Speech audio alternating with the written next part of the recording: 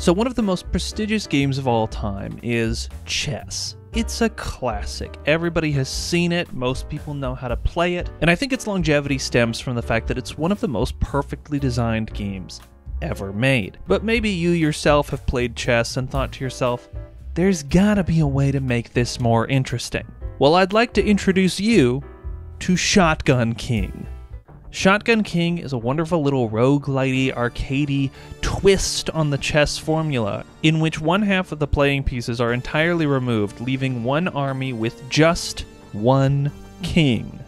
But that king has a shotgun. There is a bit of a story element to this too, in which you are this king that's trying to rise back up through the floors of the opposing king's castle to eventually depose him and become the ultimate king. But that's all kind of superfluous to the actual gameplay itself, which is essentially like chess, except you are the king and you have a shotgun.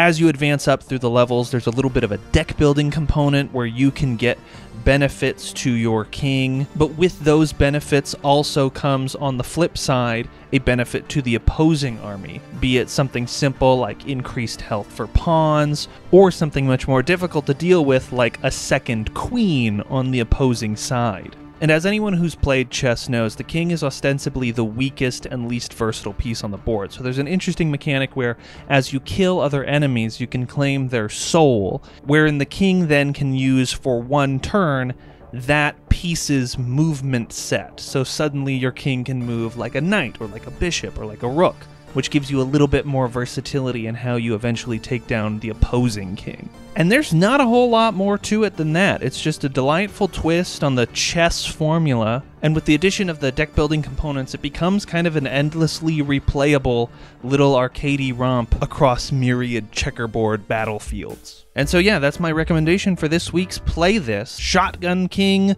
The Final Checkmate. Available on, I think, almost every platform. I have it on Switch, I know it's on Steam, I believe it's on other consoles as well. Check it out. This has been Play This. I have been Jake Theriault, and you're watching Subpixel. Thanks for hanging out.